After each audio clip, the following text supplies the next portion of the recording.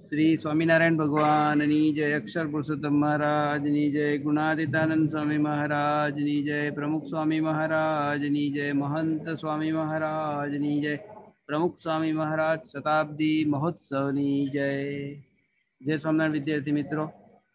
આજે આપણે એક્ટિવિટી ત્રણ ત્રણ ભણીશું. Unit two activity three work in pair જોડીમાં કામ કરો, પણ આપણે અત્યારે ઘેર એકલા છીએ, એટલે એકલા જ કામ કરવાનું થશે.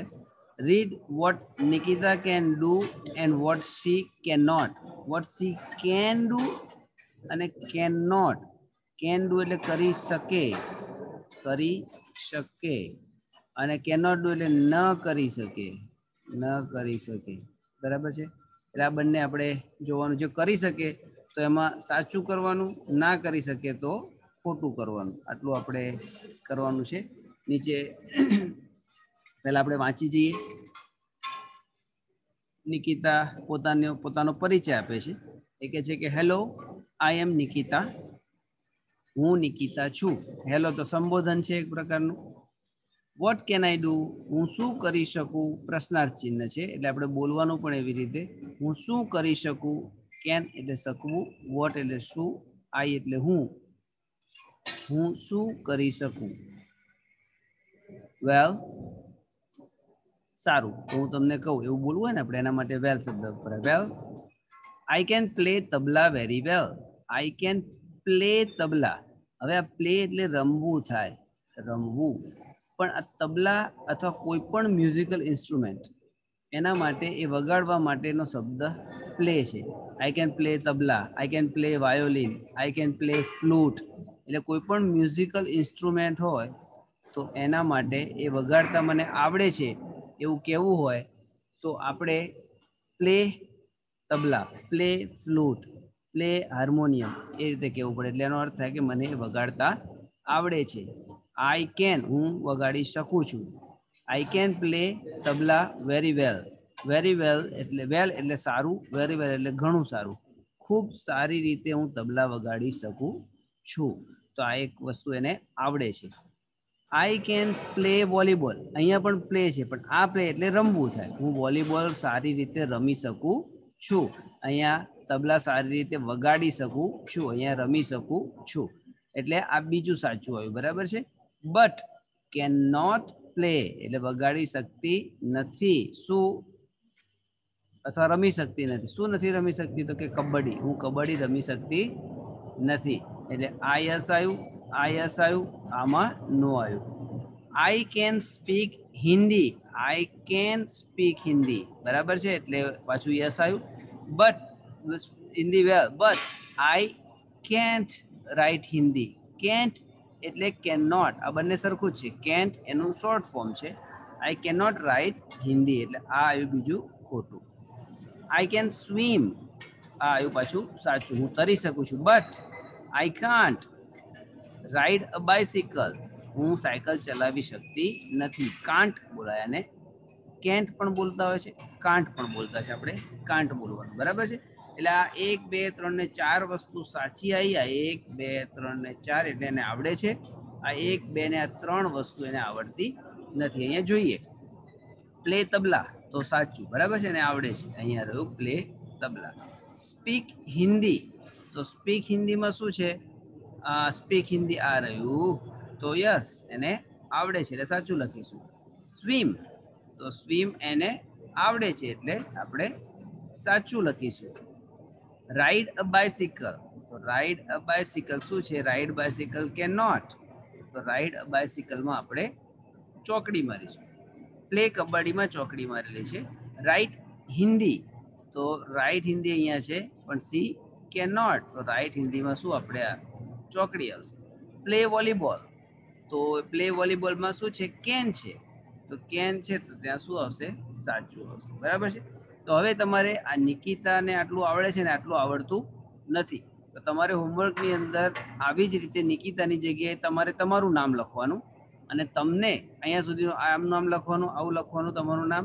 પછી અહીંયાથી તમારે તમારી રીતે લખવાનું. તમને કયું વગાડતા આવડે છે કે નથી આવડતું, ગાતા આવડે છે, રમતા આવડે છે, લખતા શું આવડે છે, કઈ ભાષા આવડે છે, શું ચલાવતા આવડે છે, ટ્રેક્ટર ચલાવતા આવડે છે, પ્લેન ચલાવતા આવડે છે, હેલિકોપ્ટર ચલાવતા આવડે છે, જે આવડતું હોય લખવાનું હોય તમારે. હોમવર્કમાં કરવાનું રહેશે. એક્ટિવિટી બી જોઈએ આપણે. Work in pairs.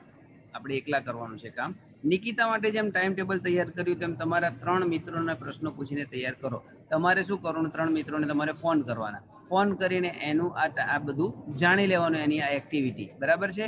તો એ એમ કહેશે કે આવડતું હોય તો કહેવાનું કે યસ આઈ કેન અહીંયા લખેલું છે ને? આવડતું હોય તો કહેવાનું યસ આઈ કેન અને પછી જે આવડતું હોય, ધારો કે તમે પૂછો, આ પેન્ટ છે. તો પેન્ટ પેન્ટ એટલે ચિત્ર દોરવું. દોરવું બરાબર? પેન્ટ એટલે દોરવું. દોરવું. બરાબર છે? ફ્લાય કાઇટ્સ એટલે પતંગ ચગાવવું પતંગ ચગાવવું. પછી કુક ફૂડ એટલે રાંધવું. પછી સ્પીક ઇંગ્લિશ એટલે અંગ્રેજી બોલવું. પછી drink a milk drink a litre of milk એક લીટર દૂધ પીવું, બરાબર છે? પ્લે ફ્લૂટ એટલે વાંસળી વગાડવી વાંસળી વગાડવી. Eat ten laddoos at at a time દસ લાડુ એક સાથે ખાઈ જવા. એક સાથે ખાવા. સિંગ એટલે ગાવું. બરાબર છે? આ સિવાય બીજું કઈ છે નીચે? હા. બે ત્રણ વસ્તુ છે. આ clear કરી દઈએ. Create a file in computer એટલે કમ્પ્યુટરમાં ફાઇલ બનાવવી. બરાબર છે? ક્રિએટ અ ફાઇલ એટલે ફાઇલ બનાવવી. બરાબર? સ્ટીચ અ શર્ટ એટલે શર્ટ સાંધવો. સાંધવું. ફાટી ગયો અને રાઈડ બાયસિકલ સાયકલ ચલાવવી. એટલે આટલી વસ્તુ છે, તો એ તમારા પહેલા મિત્રને તમે ફોન કરો. એને પૂછો કે તને આવડે છે? કેન યુ અહીંયા સ્પેલ ઇંગ્લિશમાં જ બોલવાનું છે. બરાબર છે? કેન યુ એમ કરી અને પછી પૂછવાનું, હા કેન યુ પછી આવશે. એટલે કેન યુ પેઇન્ટ બીજું હતું can you fly kites can you cook food can you speak English can you drink a litre of milk એ રીતે એને પ્રશ્ન પૂછવાનો. એટલે તમારે અહીંયા પહેલા એ પ્રશ્ન લખવાનો કે કેન યુ પેઇન્ટ બરાબર? પછી પ્રશ્ન જ છે. પછી એનો જે જવાબ હોય, એ અહીંયા લખવાનો. એટલે આમાં તો એક કામ કરીએ. આપણે આની અંદર ત્રણ આપે છે ને એવું એક તમારે અહીંયા ચોથું, એક બીજું એક્સ્ટ્રા બનાવી દેવાનું, ચોથું એક આવું. અને અહીંયા લખવાનો પ્રશ્ન.